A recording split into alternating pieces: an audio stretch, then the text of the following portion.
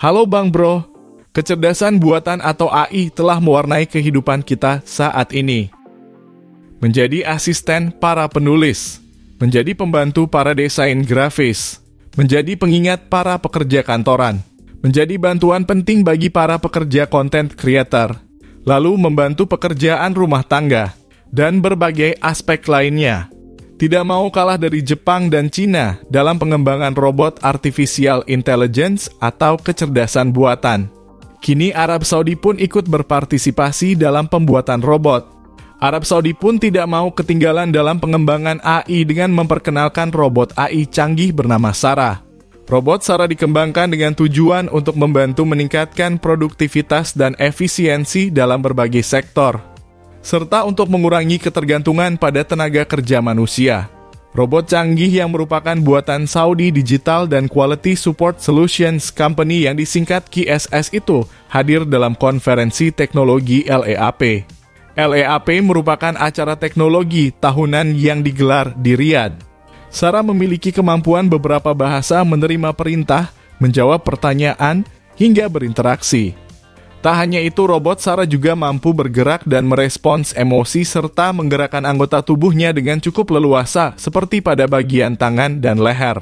Awalnya, Saudi Digital dan KSS membuat struktur tulang atau kerangka robot selama tiga dimensi dan melakukan pemodelan kepala secara 3D yang dibantu dengan perangkat lunak dan bantuan komputer. Setelah itu dilakukan proses pengeditan atau rendering. Melansir laman KSS, representasi visual robot dilakukan dengan melakukan simulasi cahaya dan bayangan pada model tiga dimensinya. Kemudian, patung kepala dan bagian tubuh dibuat dengan teknik pemodelan. Terakhir, seluruh komponen fisik robot disatukan sehingga terbentuk tubuh robot secara utuh.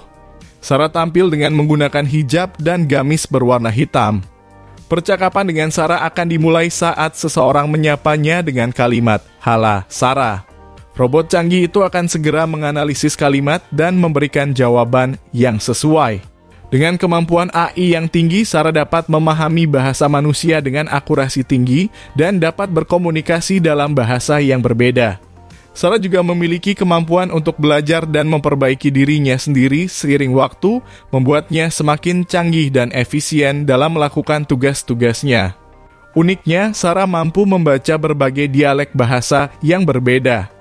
Sarah juga memiliki berbagai sensor dan teknologi canggih lainnya, seperti kamera dan lidar yang memungkinkannya untuk melakukan navigasi dengan akurasi tinggi dan menghindari rintangan dengan mudah. Dengan kemampuan ini, Sarah dapat digunakan dalam berbagai aplikasi seperti pengiriman barang, manufaktur, dan bahkan pelayanan kesehatan. Seorang jurnalis sempat melakukan wawancara dengan Sarah, ia pun membagikan pengalamannya itu langsung di laman media sosial pribadinya.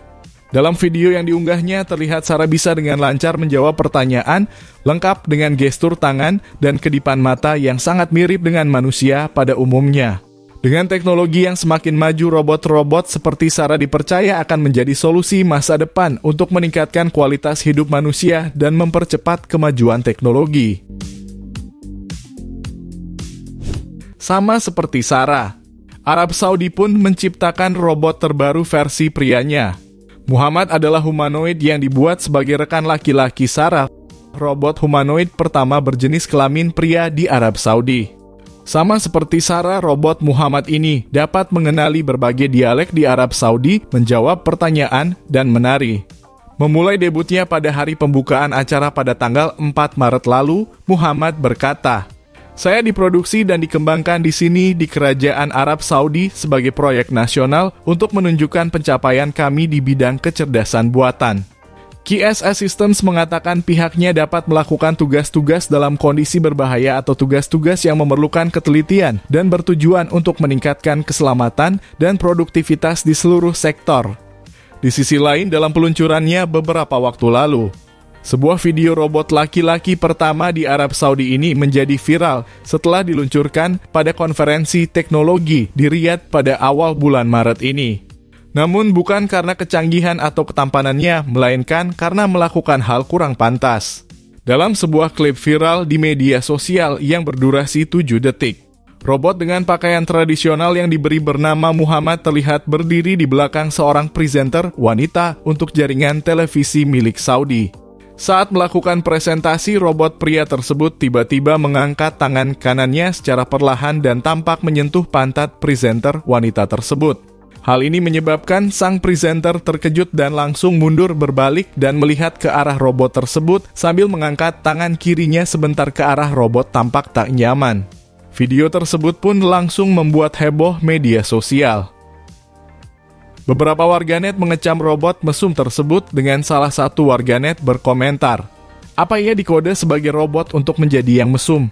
Namun, ada pula yang membela robot tersebut. Seorang pengguna memposting bahwa robot itu hanya mengikuti program dan kebetulan presenter wanita tersebut berdiri di tempat yang salah. QSS Systems, sebuah perusahaan kecerdasan buatan dan robotika yang menciptakan robot tersebut, tidak membahas insiden tersebut dalam postingan linkinnya. Tentang pengenalan Muhammad pada The First edisi kedua. Acara yang berlangsung selama empat hari ini dilaporkan menghadirkan lebih dari 150 pembicara, 120 peserta pameran, dan 20 ribu pengunjung ke ibu kota Arab Saudi, Riyadh. tidak hanya membuat robot wanita dan pria. Terbaru, Arab Saudi telah mengumumkan langkah inovatif dengan meluncurkan robot artificial intelligence untuk membantu dan melayani jemaah haji dan umroh di Masjidil Haram.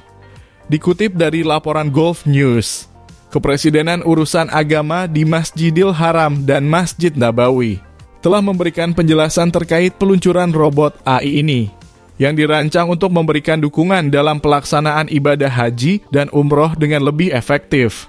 Robot AI ini telah dirancang khusus untuk memberikan bantuan kepada pengunjung dengan menjawab pertanyaan seputar pelaksanaan ibadah haji dan umroh dengan jelas dan tepat. Dengan kemampuan ini, robot AI diharapkan dapat menjadi sumber informasi yang handal dan dapat diandalkan bagi jemaah yang sedang melaksanakan ibadah di Masjidil Haram. Dengan menyediakan jawaban yang jelas dan tepat, robot AI membantu meningkatkan pemahaman dan pengalaman ibadah para jemaah, menjadikannya sebagai alat yang berharga dalam mendukung perjalanan spiritual mereka.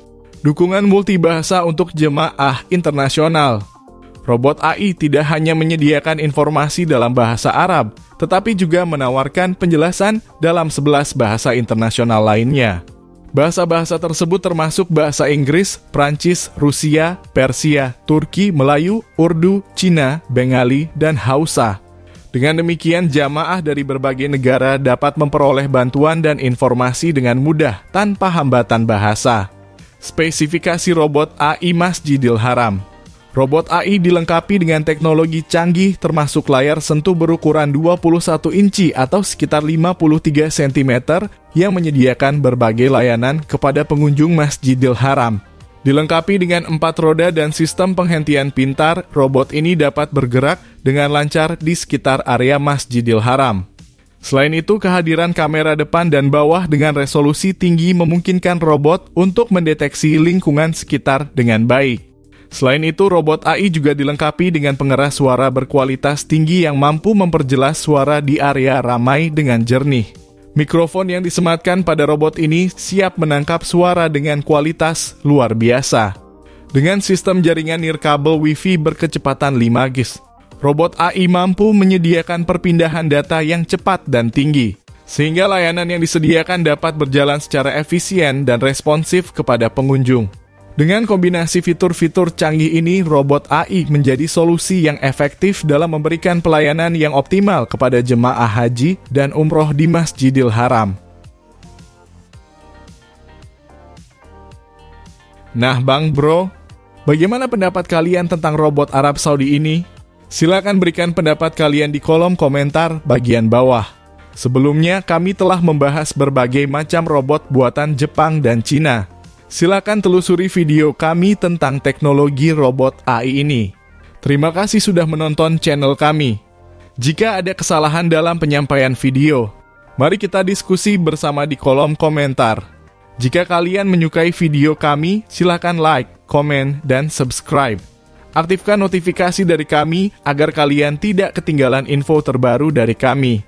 Sampai bertemu di video kami selanjutnya.